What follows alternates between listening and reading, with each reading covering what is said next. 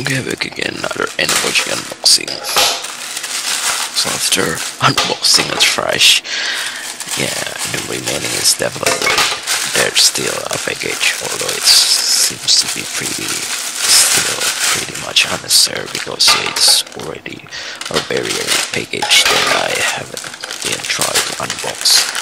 So yeah, it's basically just trying to utilize the promotion for Whether this is gonna be work or not because